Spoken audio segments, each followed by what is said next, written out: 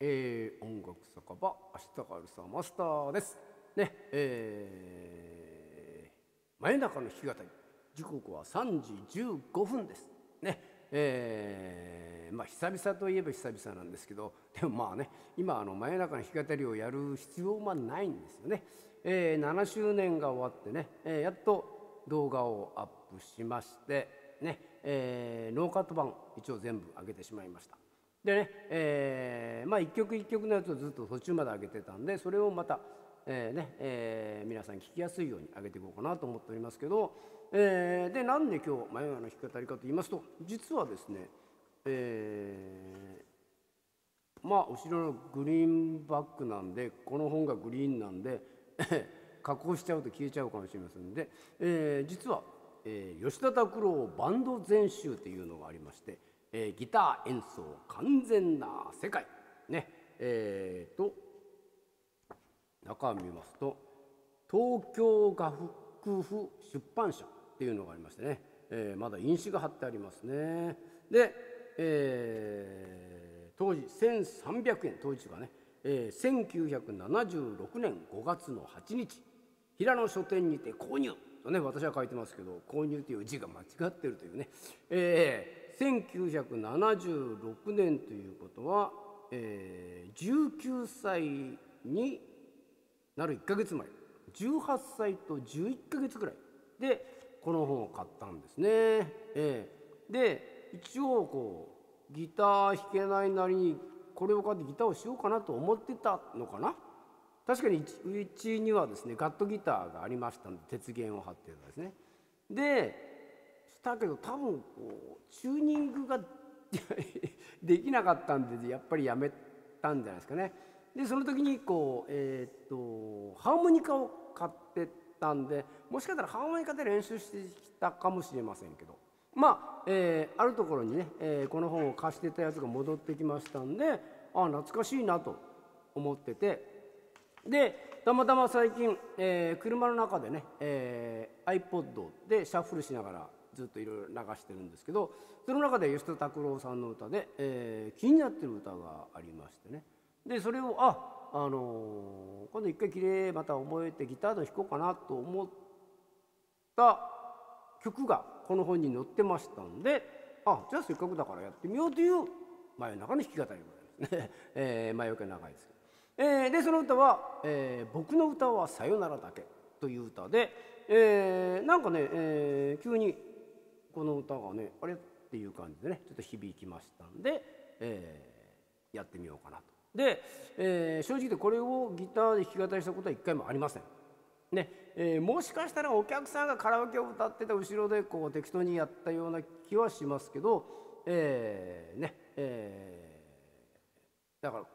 えー、譜面見てきちっとね、えー、歌うのは今日が初めてです。ということで、えー、真夜中のき語り吉田拓郎さんで「僕の歌はさよならだけ」ですね。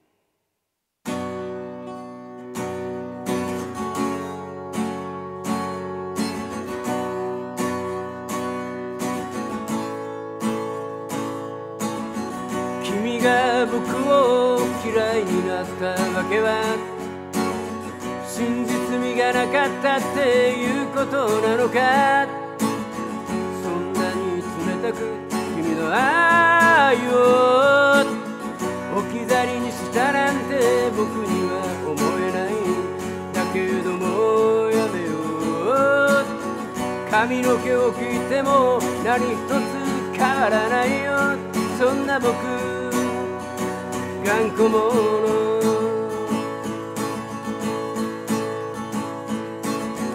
遊び上手は誰かさんのもの。なに僕が君を欲しかったとしても言葉がなければ信じないとさ。言えないことは勇気のないことかいだ。からもうやめよう静かな店も僕は好きなんだ。嫌いだよね。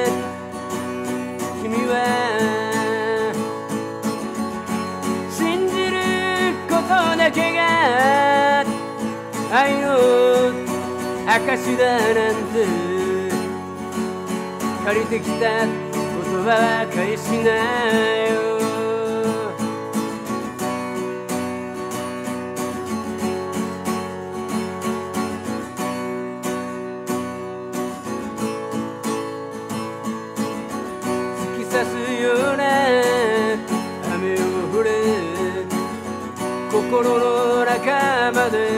洗い流せ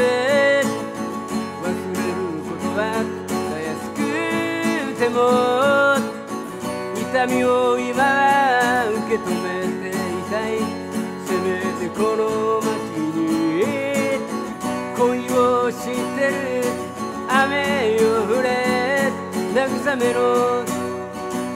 前に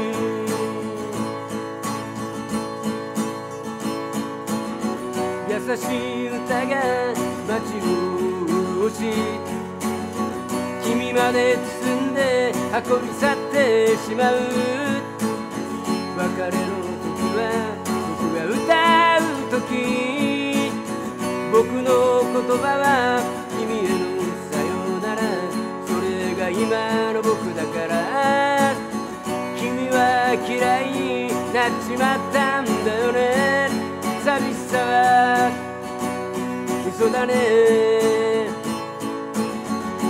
二人でどこへ行っても一人と一人じゃないか。触れ合いは言葉だと口癖だね肩を寄せて歩くことにもれたんだよ。僕はなんとなく。誰かに会ったらこう言ってやれよ。あの人愛をわからない人で。それでさよならさ。思い出話が一つ増えたね。今度こそ。さよなら。